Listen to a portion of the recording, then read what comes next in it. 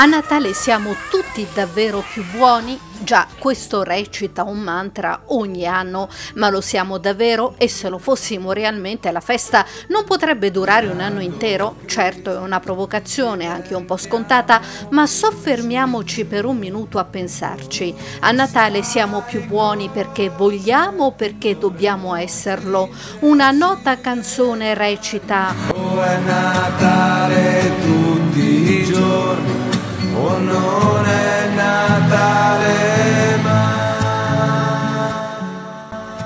alcune riflessioni. Anche a Natale passeggiando per le città addobbate a festa con le vetrine lucide e invitanti, passando davanti a un senza tetto che ci tende la mano ci fermiamo o voltiamo lo sguardo dall'altra parte? Nei giorni che precedono la festa, nei centri commerciali, quanto spesso sbuffiamo se qualcuno ci passa davanti nella fila alla cassa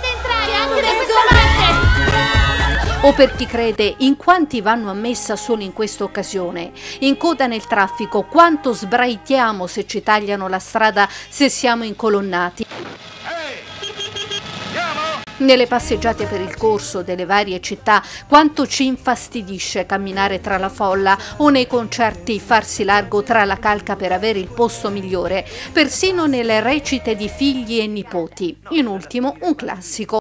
Se l'hai riciclato a me non Ma interessa. non ho riciclo, ma che riciclo i regali? No, è una cosa paranormale. Sembra che il Natale più che rasserenarci ci faccia saltare non di rado i nervi, forse perché dimentichiamo il vero significato della festa che per chi crede non dovrebbe essere solo abbuffate, regali desiderati o disdegnati, ma il Natale per i cristiani dovrebbe essere la rinascita nel cuore di ognuno di noi di Gesù, nostro Signore, il vero festeggiato dovrebbe essere Lui, non noi. Sai cos'è?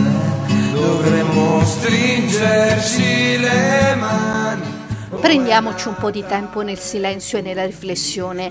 I regali più belli sono di sicuro quelle preghiere spontanee, un grazie rivolto al cielo, un pensiero per chi non è più con noi e rende il Natale sì malinconico, anche se a pensarci bene proprio chi ci ha lasciato a un posto di rilievo in prima fila vicino al nascituro.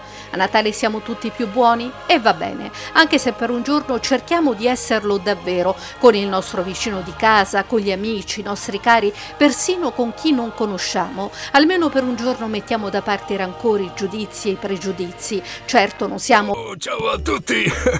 Stavo giusto leggendo le letterine che guai mi a fare in questo servizio un sermone e solo una piccola microscopica riflessione affinché ci induca, compreso chi legge, ad esserlo un po' più buoni per davvero, non solo a Natale. Ah, non dimentichiamo ad esserlo anche con noi stessi. Buon Natale a tutti gli abruzzesi!